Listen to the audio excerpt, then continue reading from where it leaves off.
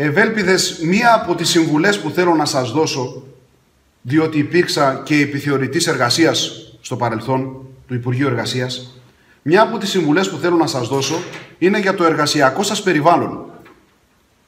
Ο τρόπος με τον οποίο εργάζεται κάποιος καθορίζει το αν είναι ευτυχισμένος, δυστυχισμένος, άρρωστος και γενικά καθορίζει ολόκληρη την καριέρα του. Θέλω να θυμάστε ότι κάθε εργασιακό περιβάλλον είναι γεμάτο εργασιακούς κινδύνους. Είναι γεμάτο πηγές που μπορούν να σε κάνουν δυστυχισμένο και αν δεν τις εντοπίσεις εγκαίρως μπορούν να κάνουν κακό σε σένα ή στους υφισταμένους σου ή σε ολόκληρη την υπηρεσία. Κατά συνέπεια, σας συμβουλεύω πρώτα-πρώτα να έχετε πάντοτε στο μυαλό σας ότι κάθε καθήκον που σας ανατίθεται πρέπει να το φέρετε εις πέρας με τον λιγότερο δυνατό κόπο και με τον καλύτερο δυνατό τρόπο ποιοτικά. Για να το πετύχει κανείς αυτό, πρέπει να θυμάται ότι δεν έχει σημασία πού θα φτάσεις, αλλά σε τι κατάσταση θα φτάσεις και πόσες αντοχές θα έχεις στο τέλος. Δηλαδή, δύο άτομα τα οποία ε, εκτελούν το ίδιο καθήκον δεν είναι ισότιμα αν ο ένας καταλήξει στο τέλος εξαντλημένος, εξουθενωμένος και με, και με ζημιές και με λάθη, ενώ ο άλλος τα καταφέρει με άνεση.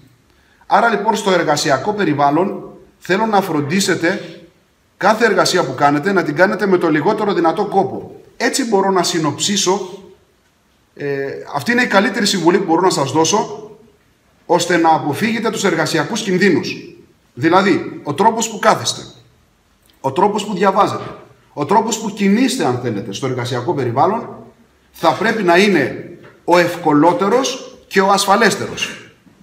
Να επιλέξετε δηλαδή το γραφείο σας να είναι σε τέτοιο χώρο όταν έχετε να κάνετε γραφική δουλειά έτσι ώστε το κορμί σας να μην υφίσταται κόποση άδικα. Να μην καταπονείτε και να μην ταλαιπωρείτε τα μάτια σας χωρίς λόγο. Τοποθετώντας δηλαδή τον ηλεκτρονικό υπολογιστή σε λάθος θέση. Ομοίως και τους υφισταμένους σας, ακόμη και στις στρατιωτικές ασκήσεις, να φροντίζετε να εκτελούν το καθήκον τους με τον ευκολότερο τρόπο και με τους λιγότερους κινδύνους. Άρα λοιπόν η πιο σημαντική συμβουλή που μπορεί να σας δώσω για την καριέρα σας όσον αφορά τον τρόπο εκτέλεσης των καθηκόντων σας είναι να φροντίζετε να εντοπίζετε τους εργασιακούς κινδύνους και να εκτελείτε το καθήκον σας με τον ευκολότερο δυνατό τρόπο και τον καλύτερα, καλύτερο ποιοτικά τρόπο. Αυτή είναι η συμβουλή για το εργασιακό σας περιβάλλον.